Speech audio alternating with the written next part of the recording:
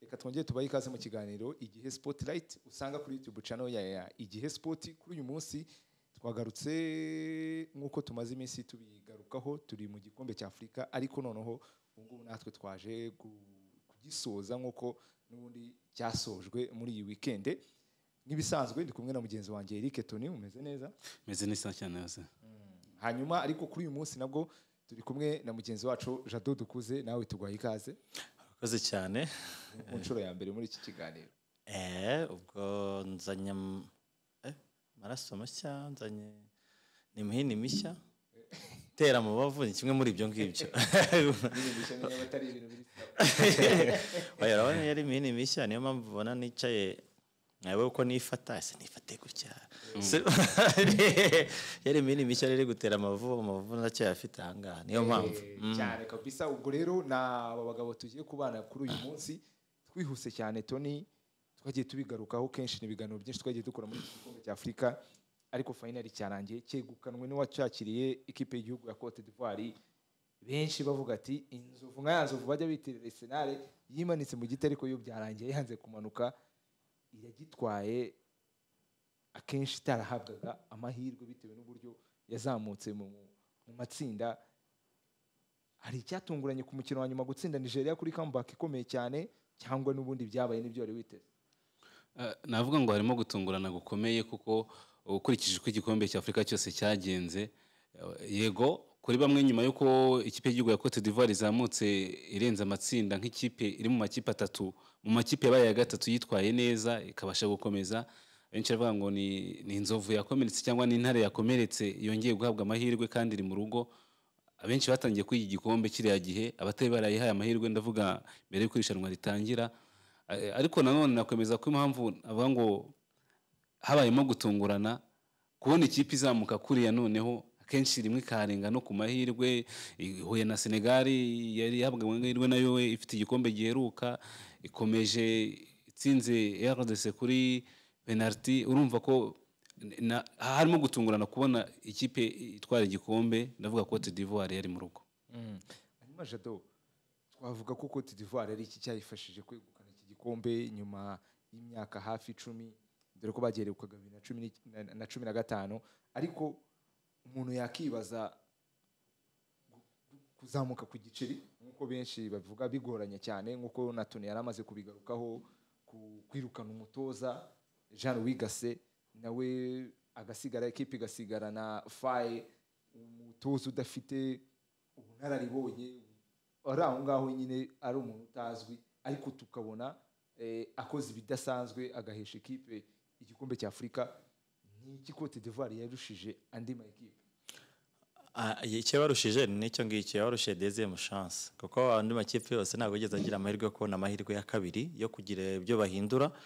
Eh, byatumaga ikipe yasezerwaga yatsindwaga nyine arahitaga igenda. Cote d'Ivoire bimenye kare baki- bakiri mu matsinda. Kuko mbere y'ino rushanwa n'ubundi Cote d'Ivoire mu rugo yari nk'ikipe ya kabiri ihabwa amahirwe inyuma nk'iya Senegal ndakeka. Urumva iri mu mafavori Cote d'Ivoire Senegal Maroc Nigeria n'ubundi zari mu makipe ahabwa amahirwe. Inatangira neza itsinda. Ahubwo iza kunyerera ariko inyerera igifite amahirwe yo kuba yazamuka. Iki kintu cyo gukira amakipe ya gatatu yitwaye neza agira ngo zikorana no psikoloji y'abakinnyi ah, ni kimwe mu byagiye bituma n'amakipe menshi atungurana. Kumva ko nshobora no gutsindwa match ebyiri nkakomeza cyangwa ngatsindwa match imwe indi indi nkaba nayinganya nga- nkashaka amanota kuri match ya nyuma Cote d'Ivoire ni cyo ngicyo yagendeyemo. Ahubwo ikintu rero yarushije andi makipe cyanayifashije ni uko yabonye umwanya wo gukora reaction hakiri kare. Yari yabonye iti n'umutoza dufite nubwo twamushoyemo byinshi tugakorana nawe imyiteguro y'igikombe cya Afurika imikino yose y'amajonjora nibo bayikiniranye bashaka nubwo wenda baba bafite tike ariko nabo bakina imikino gushaka qualification bari kumwe nawe bakina match amical bari kumwe nawe bategura ikipe bari kumwe nawe. Ariko bonye imikino itatu bakinnye baravuga ati n'umutoza si we wacu. Ayo mahirwe rero babonye ntabwo andi makipe yabonye. Kuko n'andi kipe yabonye amahirwe yo kuba yakwirukana umutoza kandi wenda ibona bivanga yaba byari gushoboka ko yirukana umutoza muri miti kaza n'undi ntabwo byo byabahiriye. Byarabafashije rero bazana ah, umusore faye. Eh, nawe ni umutoza utari utazwi wenda udafite na experience ariko kuba yarakuriye hariya ku mugabane w'uburayi yarakuriye ariho yigiye iby'ubutoza ariho yatoje experience yose ayifite ntabwo afite mentalite nk'abatoza bahangaha. Ah, kandi akenshi umutoza mushyashya yaje no mu ikipe ahariho hose umutoza mushyashya aje ahita akora reaction ako kanya. Byari byoroshye guhita ukora reaction imikino itatu. Ubwo ngubwo cyangwa ine atoje kimwe cy'umunani kimwe cya kane kimwe cya kabiri na finale. Icyo gihe ukiri muri ya mode yo kubwira abakinnyi bakakumva ni ukubaha filozofi nshya yawe bakayibona n'abatoza bandi mugiye gukina burya iyo umutoza agiye gukina n'undi aba- abanza akara nk'imikino nk'itatu yatoje n'umutoza akina ibi ngibi yatsinzwe akina gutya ariko uriya nta muntu wari umuzi nawe uzi ibyo akina ba- bamuboneye muri iryo rushanwa bose. Ni ngo abatoza andi makipe yose yisanze abonye undi mutoza mushyashya utazi imikinire ye utazi amareakisiyo ye na byo ibyo nyine nkeka ko ikintu cyabafashije. Nubwo wenda utavanwa ari ikintu cyiza ariko na byo buriya gusezera umutoza hakiri kare biri mu byabafashije cyane. Hanyuma toni twavuga ko nigeria yari ikipe ya- ya- yageze kuri finale ndumva yaratsinzwe ibitego bibiri. Yari ikipe ihagaze neza mu bwugarizi bukomeye. Kwishyurwa ibitego bibiri igikombe kikagenda ndumva yinjiye no mu makipe amaze gu- gu- gukina finale nyinshi ariko ntizitware cyangwa se igatsindwa ku mukino wa nyuma. Nigeria yazamutse tubona iryana yabuze iki gituma igikombe igicyura? Eh, ndahera kuri kimwe jado yari avuze ni- icya home advantage ku ikipe y'igihugu ya cote d'ivoire. Bijyanye n'amateka burya niba igikombe cya afurika cyabaga ku nshuro ya mirongo itatu na kane byibuze mu nshuro cumi n'ebyiri amakipe- amakipe yacyakiriye akaba yaragitwaye urumva ko biri- birenga kimwe cya gatatu birenga kimwe cya gatatu ni amahirwe menshi eh, yo kuba ikipe iri mu rugo akenshi bifite amahirwe mu gikombe cya afurika Eh, ikindi kuri nigeria navuga ko twakayishimiye ibyo yagezeho. Nigeria twari tumaze iminsi tubona eh, ibura itike y'igikombe cy'isi itongera kwitwara neza mu gikombe cya afurika nyuma yo gutwara icyo mu myaka cumi n'umwe ishize cya bibiri na cumi na gatatu.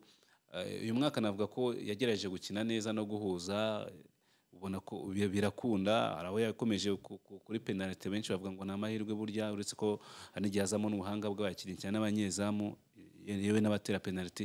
Ariko ubona ko ni iki- ni ikipe njye navuga ngo yatanze ibyo yari ishoboye eh, gutsindwa umukino wa nyuma kuriya eh, yatsinzwe n'ikipe yari mu rugo ariko nanone tunibuke no mu matsinda ni amakipe yari kumwe mu itsinda rimwe mu itsinda rya mbere.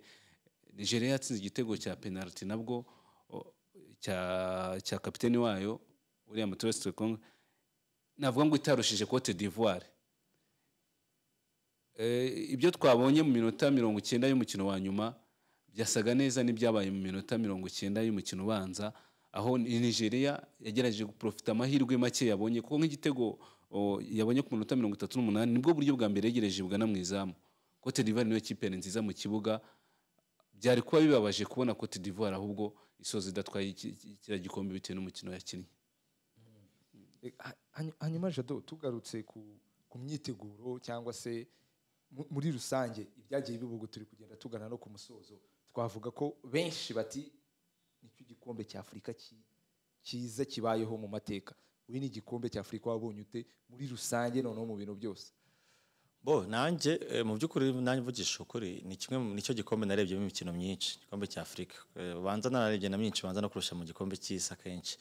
Yari imikino irenteresa isa nkaho imikino buri mukino wose wakwicara ukawureba amakipe akina propose umukino atari bya bindi twari tumenya byo muri afurika eh, bya gipira ndaguteye reka da wabonaga ikipe yazanye plani turakina gutya turakoresha wenda amatransition turakina possession nk'uza Guinea Equatorial ukuntu twagiye tuzibona cyangwa za Cape Verde na Angola ubona ari amakipe akina nka ekipe nyine ni- igikombe cyari kirimo umupira w'amaguru tuba dushaka kureba. Eh, byagakwiye kuba itangiriro ry'umupira wo muri Afurika ni igikombe ariko burya ikintu cyakiryoheje no kurushaho uretse n'ibyo ngibyo byose eh, ni cya kindi cyo kuba harimo ama amareklamatio makeya y'amakipe. Kumva ngo ikipe itashye nubwo yatsinzwe itashye kubita agatoki ku kandi uribuka wenda nka kandi iheruka. Uribuka wa musifuzi wasifuye match itararangira kari agashasi kazwe ubwo udushya twinshi twagiye tuba mu misifurire abantu batagiye bishimira ariko kino gikombe cya Afurika. Uretse nka abantu bose umuganira uretse akisi imwe yonyine ya Sadio Mane ku mukino wahuje Senegal ndetse n'ikipe ya Cote d'Ivoire. Isa nkaho nabwo ushobora gutanga ikarita ariko ntuyitange. Ariko ni igikombe cyari gifite imisifurire myiza. Iyo misifurire myiza rero burya imisifurire ari myiza bituma suspense ziyongera. Bituma ikipe niba yiteguye neza ari Cape Verde ya- yakinnye match yawe neza. Ishobora kuyitsinda kubera ko ntiyikanga ngo barayiba. Ibaze ko aho Cote d'Ivoire yari mu rugo byagezeho match ya nyuma itsindirwa mu rugo ibitego bine ku busa. Yanduye ibitego bibiri byose. Yatsinze yatsinzwe bine. Iri kuri risike ko ishobora gusezererwa ubundi ntabwo bipfa kubaho. Uretse na Cote d'Ivoire ifite izina rikomeye. Wagiye ubona na za Gabo iyo zabaga zakira ibikombe ugasanga bazibiye za Guinea bazibiye kubera ko kugira ngo nyine zitavamo hakiri kare abafana bakabura ku kibuga. Ariko urabona nk'iki gikombe rwose imisifurire ari myiza. Byatumye rero kompetisiyo iba imbere. Burya imisifurire myiza burya ni ikintu gikomeye cyane. Ah, wenda n'amashampiyona yareberaho ah, bituma kompetisiyo yiyongera. Kompetisiyo yariyongereye abantu rero baba tante "Mm, biri kugenda gute? Kuko ndavuga ngo Guinea yatsinze se yatunguranye. Kumva ngo Guinea Bissau yitwaye neza kumva ngo ngo, ikipe yitwaye neza Angola yitwaye neza izo kipe zimejeje gute bituma ya kominote yindi. Kuko no mu mibare urebye abarenga miliyari ebyiri ba- barebye kino gikombe cya Afurika ubundi ntabwo byabagaho.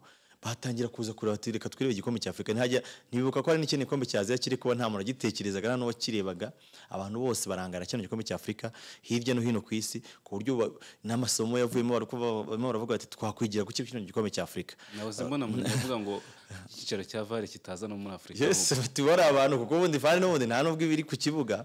Bavuga ati bari abantu kuki umuntu atabatera bakabakoresha nko muri za Champions League burayi cyangwa se Premier League? Kubera ko ba- ba- abandi bakunda ku- kugenda banengwa ku byemezo bafata. Byari ibintu biri perfect biteguye neza rwose ko deshapo kuri Cote d'Ivoire ngiye yarantunguye sinzi uko babigenje eh, numvise kare tonari gukora average afana imibare y'abafana wabonaga hafi ibihumbi makumyabiri kuko kuri stade wabona ko ari ziriho abafana. Ntabwo ubundi na byo byabagaho mu bikombe bya Afurika byose. Zabaga ziriho abafana ubundi stade ntabwo ziba abafana. akenshi ikipe iri mu rugo niba usanga yabaga ifite abafana. Izindi ubu mu by'ukuri hafi zose sinzi ukuntu babigenje rwose sinzi banga bakoresha ko ni ubwa mbere na byo nari mbonye muri kane ubona hafi match zose byibura abafana ibihumbi cumi na bitanu. Ni iki kuko umupira ni abafana iyo nta bafana bahari nta mupira uhari. Nicyo abanyaburayi baturushaga ni cyo bonaga ikipe z'iburayi ziturusha. Uzi ko na copa america ari copa america iyo atari ikipe yo mu rugo yakinnye nta bafana bari ku kibuga rwose. Kuko bari abajyana n'amasitade meza muri amerika y'amajyepfo. Ariko ubona stade haje nk'abantu ibihumbi bitanu cyangwa se wenda ni Brazil iri mu rugo baraza buzure ariko izindi manshi ntabwo bazitabira. Ah, ni ikintu cyiza Cote d'Ivoire yakoze haba kuri karite y'umukino haba ku bijyanye n'ubwitabire bw'abafana haba rero noneho ni cyo ngicyo cyo ku- cyo kuvuga ngo imisifurire yari feya byatumye ibintu byose bihuriza hamwe kubera igikombe cya afurika kimwe mu byiza bizahora bivugwa ah, hano ku mugabane wa afurika. Nshimangiye ku kantu dukuze yari avuze umuto- uyu mutoza wa congo sebastien de sabre ni we wavuze ati ariko ntikomeza kuvuga yuko ngo amakipe adusa ngo amada ndogs cyangwa se yari gutungurana ahubwo ayiteguye niyo ari kwitwara neza. Ibyo bintu muri kubikura he? Abantu twagiye tubona amakipe akomeye za kapuvere za gineya rutahizamu wabo nsu ni we birangiye ari top scorer.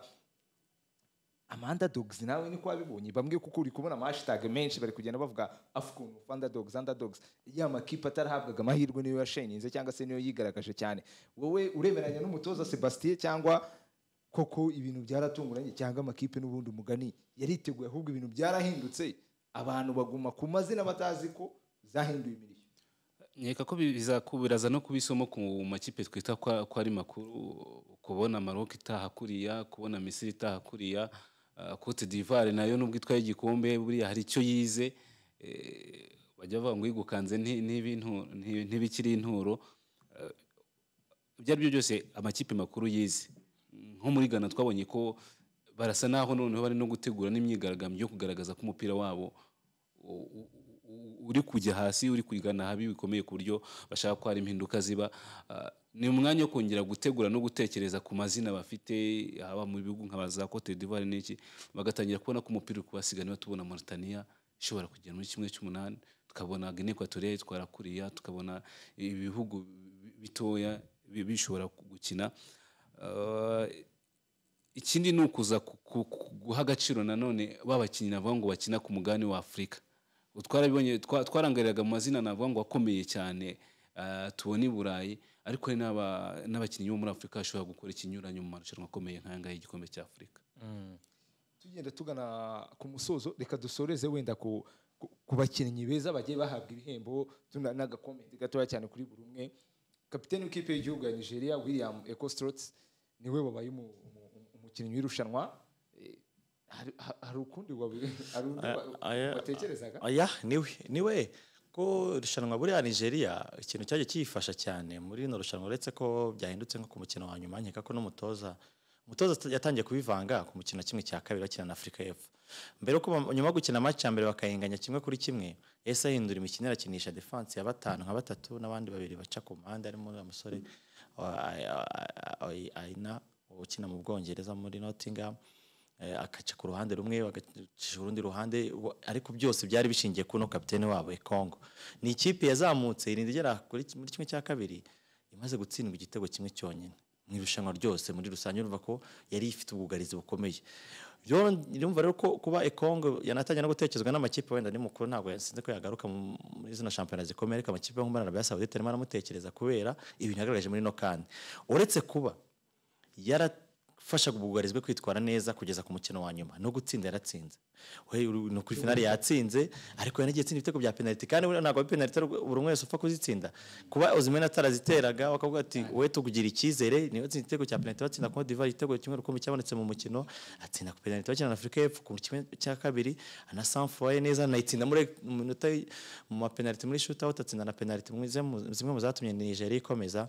Yari umukinnyi mwiza abandi bari gutekereza ni nka Frank Kessié ariko urumva nawe hari aho yagiye agira ro mu irushanwa nyine hari imik- hari nk'imikino nk'ibiri cyane cyane mu matsinda yabaga yabuze yibuze agenda gutuma na Cote d'Ivoire isigara. Agihinduka harimo match ya mbere ntayikinnye yaje asimbuye kuri match ya basezere eh, Senegal yigiyemo asimbuye. Urumva ko nta nta- ubundi iyo Nigeria igitwara yari hagati ya UE Congo na Osimhen byarangiye kuba rero bahisemo rwose ngewe nanyuzwe na byo. Na- nahoze mbona ko ari nawe myugariro wa mbere utsinze ibitego bitatu mu- muri kan Eh, kuva bibiri- mu bibiri na cumi. Urumva rero ko hari ne- n'andi mateka mashyashya agiye- yagiye akora. Ya- njye yarantunguye cyane ntabwo nzi ko agifite imbaraga nka ziriya kugeza kuri uno munsi. Umunyezamu Ronald Williams wa Afurika y'Epfo we ndatekereza barurusha abandi Uh, binagaragaje ahubwo sinzi ko biramugumisha muri Mamelodi. Mamelodi nawe ntabwo ari ikipe yoroshye. Ntabwo ari ikipe yoroshye nahemba neza. Yari mu banyezamu bigaragaje muri iri rushanwa nyuma yo gukuramo penaliti cyane cyane ku mukino wa, Verde aho yakuyemo penaliti enye. Ni, ibintu byamuzamuriye izina bituma agarukaho. Gusa nanone ntawakwirengagije umunyezamu wa, wa Nigeria Nwabari ibyo byonyine no kubona uriya mwanya abenshi babonaga ko ashobora kuba atawukwiye ariko kuko ni jana kimwe mu byayigoraga buriya kubona umunyezamu kuva hambere abanyezamu baba barayivangaga cyane kujya kuba babonye umunyezamu byo na byo biri perfect. Mwambari nawe ni umuntu witwaye neza hanyuma dusoza amazina nk'abi nk'abiri atatu urumaritse muri iyi kani ubona ugati kabisa abo bantu barigaragaje wenda atari ba bandi twari dusanzwe tuzi cyane cyangwa se hari n'uwo wari ubyitezweho ariko agakora ibyo yari yi- yi- yi- yitezweho. Amazina nk'uyu ni umwana watoye adingra umusore w'umunyakote d'ivoire.